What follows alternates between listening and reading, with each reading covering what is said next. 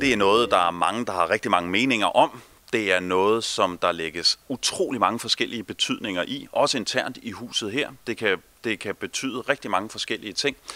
Øh, hvis du spørger mig, hvad det betyder, så betyder det for mit eget lille virke, at øh, hvis jeg på nogen måde kan medvirke til at klæde danskerne bedre på til at forstå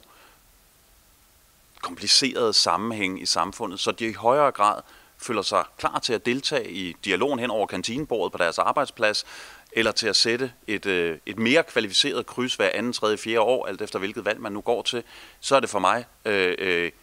kernen af public service og kernen af, hvorfor jeg overhovedet blev journalist. Thank